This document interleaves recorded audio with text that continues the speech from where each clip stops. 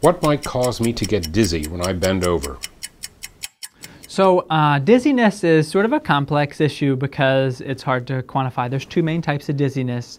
Um, the first type is the sensation that the world is spinning around you, and we refer to this as vertigo. The second type is more what we refer to as presyncope, or the, the feeling like you're going to pass out. Um, and so, if you're getting dizzy when you bend over, uh, you could have one of two things happening.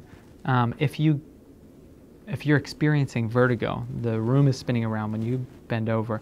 A lot of times there's a small stone that can get caught in one of the little canals in your inner ear, or it may just be an inner ear related problem.